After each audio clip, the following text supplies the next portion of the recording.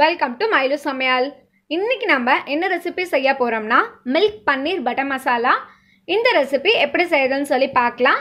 அதுக்கு முன்னாடி இது வரைக்கும் மைலு சமையலை சப்ஸ்கிரைப் பண்ணாதவங்க சப்ஸ்கிரைப் பண்ணுங்கள் பக்கத்தில் இருக்க பெல் ஐக்கானை கிளிக் கொடுத்து ஆல் கொடுங்க. அப்போ தான் நான் போடுற எல்லா வீடியோஸும் உங்களுக்கு நோட்டிஃபை ஆகும். பன்னீர் பட்டர் மசாலா எப்படி செய்யுதுன்னு சொல்லி பார்க்கலாம். ரெண்டு டம்ளர் தண்ணியை கொதிக்க விட்டு இந்த பிளேட்டில் ஊற்றி வச்சுருக்கேன். இதில் நம்ம இரநூறு கிராம் பன்னீரை இந்த மாதிரி க்யூப் க்யூபாக கட் பண்ணி வச்சுருக்கேன். அதை இதில் ஒரு ஒரு பீஸாக தனித்தனியாக சேர்த்திக்கலாம். ஒன்றோடு ஒன்று ஒட்டாமல் இருக்கணும். இந்த மாதிரி பிளேட்டில் போட்டால் தான் நமக்கு வசதியாக இருக்கும். அடுத்து தக்காளி நாலு ஏழு பல்லு பூண்டு இது ரெண்டையும் மிக்சியில் போட்டு நல்லா ஃபைன் பேஸ்ட்டாக அரைச்சி எடுத்துக்கோங்க. மஞ்சத்தூள் கால் டேபிள் ஸ்பூன் மிளகாய்த்தூள் ரெண்டு டேபிள் ஸ்பூன் கரம் மசாலா ஒன்றரை டேபிள் ஸ்பூன் காய்ச்சின பால் நாலு டேபிள் ஸ்பூன் மல்லி இலை சிறிதளவு சீரகம் கால் டேபிள் ஸ்பூன் பட்டை ஒரு இன்ச்சில் எடுத்துக்கோங்க. அஞ்சு ஏலக்காய் மூணு பெரிய சைஸ் வெங்காயம் இந்த மாதிரி பொடி பெரிய நறுக்கி எடுத்துக்கோங்க. பத்து நிமிஷம் ஆயிடுச்சு. நான் பன்னீரை வடிகட்டி எடுத்து வச்சிட்டேன். எதுக்காக இப்படி நம்ம பண்ணுறோம்னா சுடுதண்ணியில் பன்னீரை போட்டோம்னா நல்லா பஞ்சு மாதிரி சாஃப்டாக இருக்கும். சாப்பிட்றப்ப நமக்கு நல்லா இருக்கும். நம்ம வெறுமனையே அப்படியே போட்டோம்னா கொஞ்சம் ஹார்டாக இருக்கும். நல்லா இருக்காது. பால் வாசம் வரும். இப்போ ஒரு கடாய் வச்சுக்கோங்க. கடாய் காஞ்சிச்சு நான் ரெண்டு ஸ்பூன் பட்டர் எடுத்து வச்சுருக்கேன். வெண்ணெய் எடுத்து வச்சுருக்கேன். இதை நம்ம சேர்த்திக்கலாம்.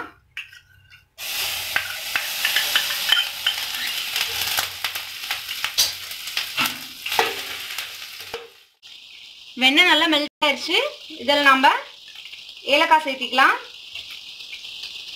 பட்டை சீரகம். இனிமே சேர்த்து நல்லா வதக்கி விடுங்க. சீரகம் நல்லா பொரியணும்.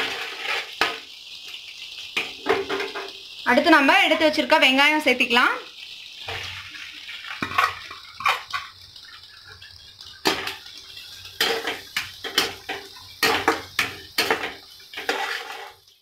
வெங்காயம் நல்லா வதங்கிருச்சு. இப்போ மஞ்சள் சேர்த்திக்கலாம்.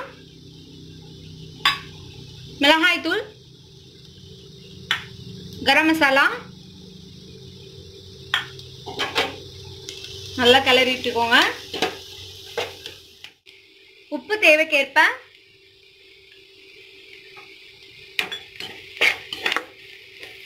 அடுத்து நம்ம அரைச்சி வச்சிருக்க தக்காளி பூண்டு பேஸ்ட் இதில் சேர்த்திக்கலாம்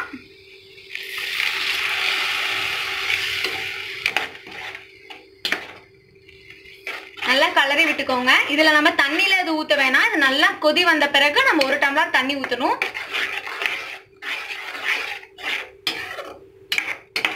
நல்லா கொதி வரட்டும். இப்போ தக்காளி நல்லா வதங்கிடுச்சு. இதில் நம்ம ஒரு டம்ளர் தண்ணி ஆட் பண்ணிக்கலாம். நல்லா கிளறி விட்டுக்கோங்க. தண்ணி வந்து சுண்டணும். அது வரைக்கும் இப்படியே இருக்கட்டும். ஒரு பத்து நிமிஷம் இருக்கட்டும் அப்படியே. நமக்கு இந்த மாதிரி தண்ணி சுண்டி கிரேவியாட்டம் இருக்கணும். அடுத்து இதில் நாம் ஒரு ஸ்பூன் வெண்ணெய் எடுத்திருக்கேன். இது நம்ம சேர்த்திக்கலாம்.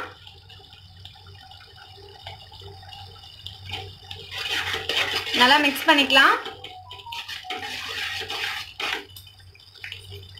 அடுத்து இதில் நம்ம எடுத்து வச்சிருக்க பன்னீர் இதில் சேர்த்திக்கலாம்.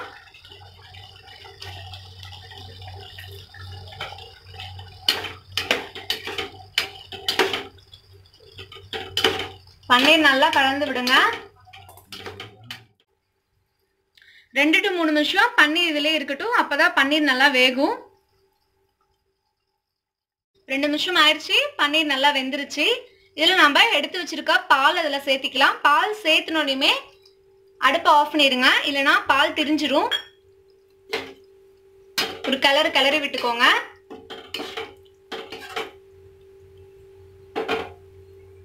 கொத்தமல்லி போட்டு இறக்கிடலாம். மில்க் பன்னீர் பட்டர் மசாலா நமக்கு ரெடி ஆயிடுச்சு ஸோ எல்லோரும் வீட்டில் ட்ரை பண்ணி பார்த்துட்டு உங்கள் கமெண்ட்ஸை ஷேர் பண்ணுங்கள் இந்த வீடியோ உங்களுக்கு பிடிச்சிருந்தா மயிலு சமையலுக்கு சப்ஸ்கிரைப் பண்ணுங்கள் தேங்க்யூ